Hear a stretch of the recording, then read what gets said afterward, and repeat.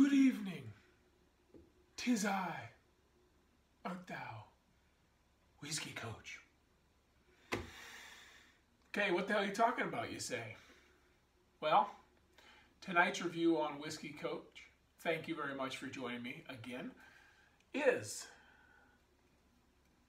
the fine folks at High West's Midwinter Night Dram.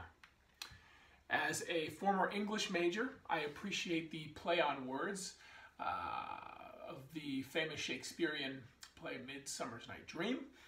Um, I think that these folks did an amazing job um, of telling a story. I love a story. I love this bottle.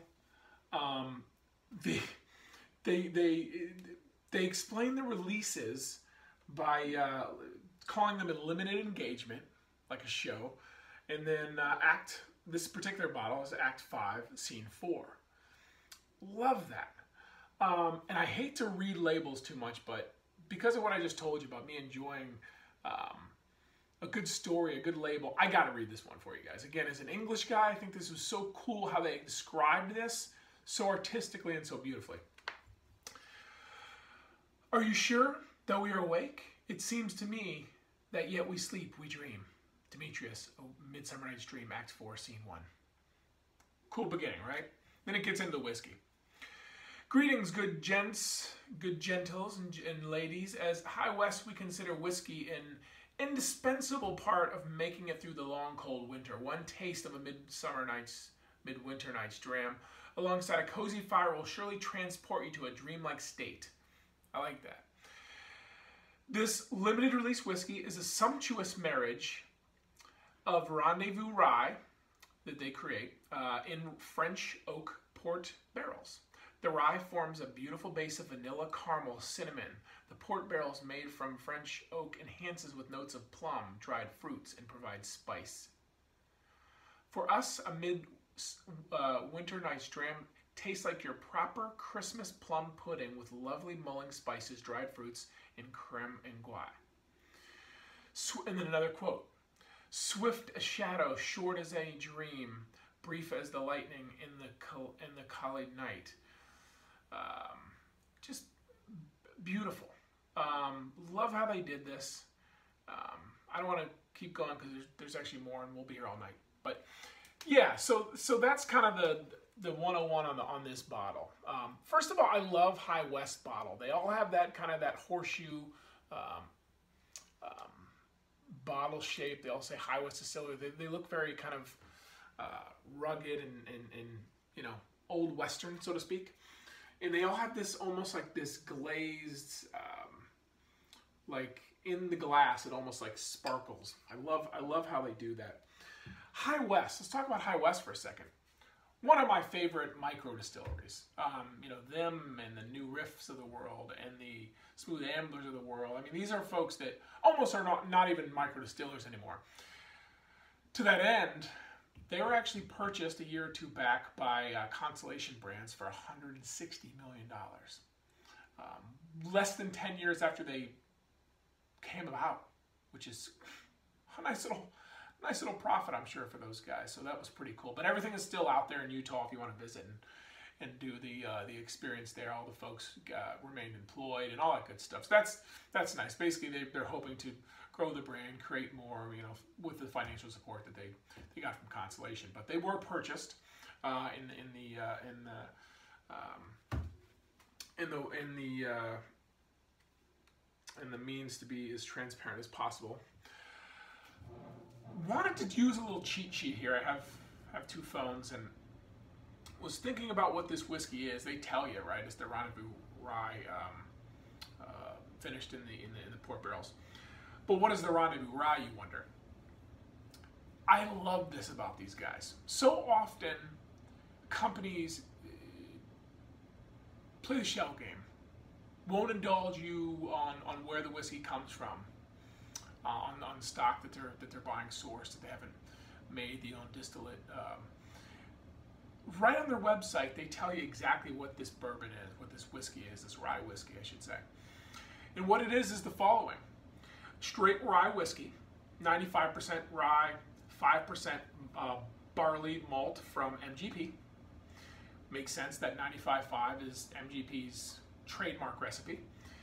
It also is 53, uh, 53% rye, 37% corn, 10% uh, barley uh, malt from Barton. And then there's a third rye whiskey, which is an 80% rye, 10% corn, 10% barley from Barton. So I just think that's super cool that they just lay it out there for you like that. Barrel type right there, boom, aged in new charred white American oak, finished in French oak. I mean, it's just, I love that. I, I respect that, and I, I, I, tip my cap to you all at High West for, for being so transparent. Let's get into the whiskey itself.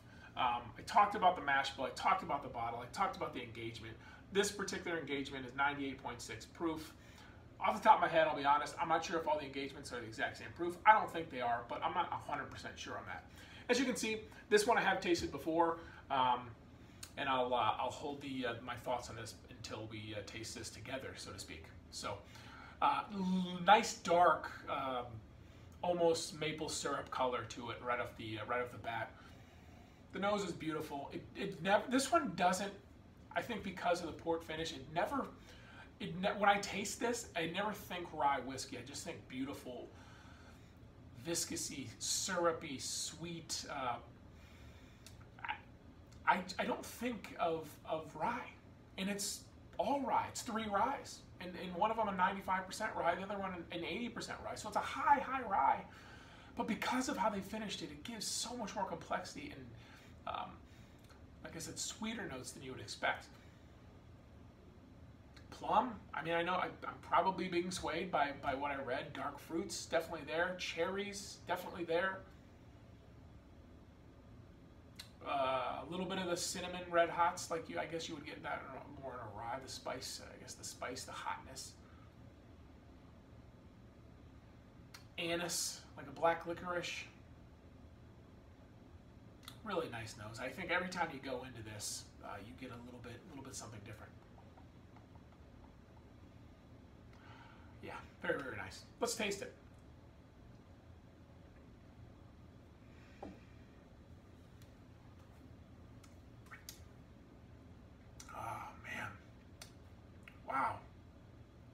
Really nice.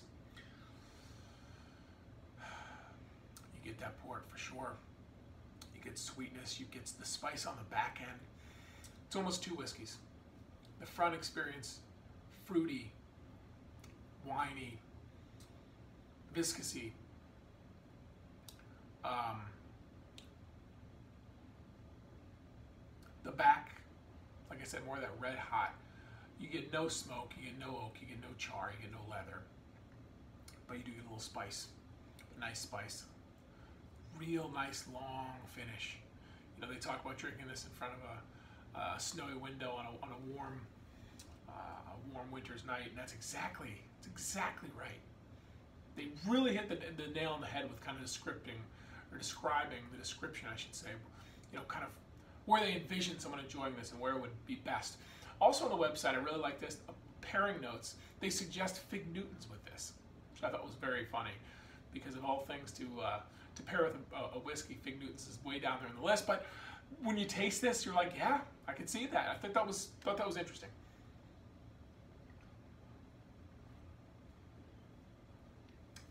This really lines up with what I like in a mouthfeel.